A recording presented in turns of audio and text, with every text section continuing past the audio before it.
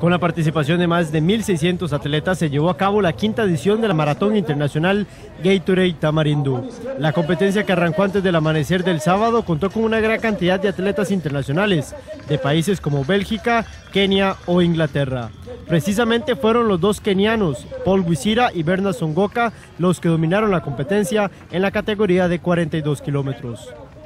Wisira, que ha ganado varias maratones a nivel mundial, cruzó primero la meta con un tiempo de 2 horas 27 minutos 60 segundos, superando en más de 10 minutos a Songora, segundo lugar y dos veces ganador de esta maratón. La carrera iniciamos muy bien, la temperatura estaba muy fresco, pero cuando llegamos como el retorno de 21K, se inició a calentar el, el tierra y se subió por arriba. Ahí me sentí más caluroso y me paqué un poquito. La organización es muy perfecto. Organización muy bien porque cada dos kilómetros va a haber eh, hidratación, agua, gato, todo esto. En la categoría de 21 kilómetros, José Francisco Chávez, con un crono de 1 hora 12 minutos y 31 segundos, tuvo una fuerte competencia con Johnny Loría, que ingresó tan solo segundos después. Fue una carrera de principio a fin muy reñida. Agradecerle a Dios, a todos los medios, que hay que felicitarlos por hacer el esfuerzo de estar aquí a las 5 de la mañana un sábado, Canal 13, toda la prensa. Me costó mucho, pues estaba muy húmedo. Pude valerme de mis fuerzas para cerrar y faltando un kilómetro, kilómetro y medio, puse mi paso y me pude ir.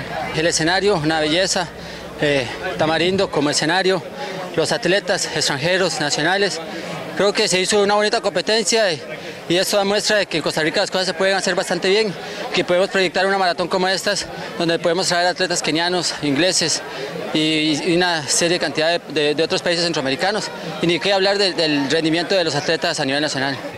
En femenino, en esa misma categoría, el primer lugar fue para Shirley Mosbreski, de 65 años, que cronometró una hora, 30 minutos y 2 segundos. Jeremy Vargas y Adriana Bermúdez, ganadores de los 30 kilómetros, resaltaron la excelente organización y cobertura que tuvo la carrera. Excelente la demarcación, muy bien, uno puede ritmear porque está viendo los, los, los kilómetros, uno va pues midiéndose 5, 10, 15, cómo vamos, a dónde caímos, a dónde podemos aflojar. Muy bien porque se presta para ritmear, es una, una carrera muy técnica, eso sí. Si usted sale muy rápido, el retorno se lo cobra.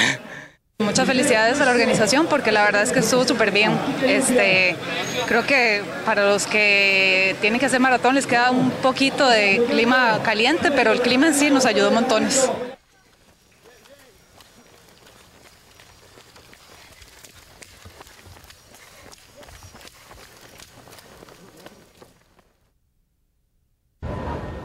La quinta maratón internacional en Tamarindo fue un mosaico de personas.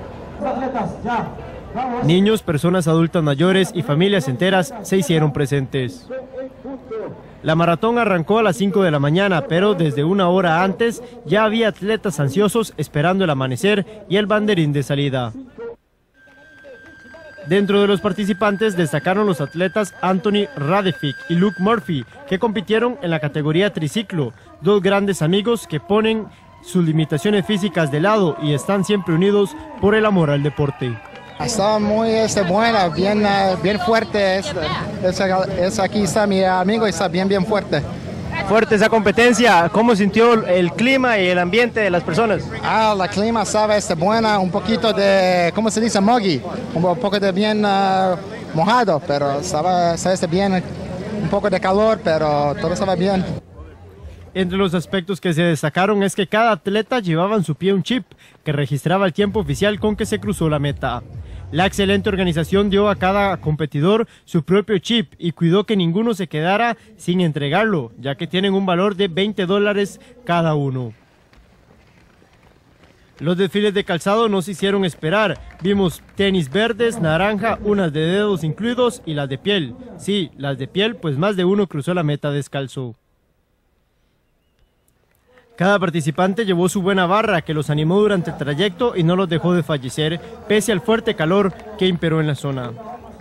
Para finalizar la competencia y más allá del cansancio, los atletas se retiraron a disfrutar en la playa con sus familias.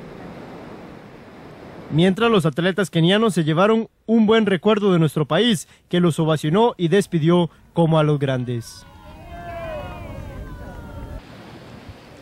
Desde Playas del Tamarindo, la información de esta maratón internacional que se corrió nuevamente conquistada por los atletas kenianos. Con información de Juan Carlos Agüero y el trabajo en cámaras de Mario Rodríguez para Deportiva del 13.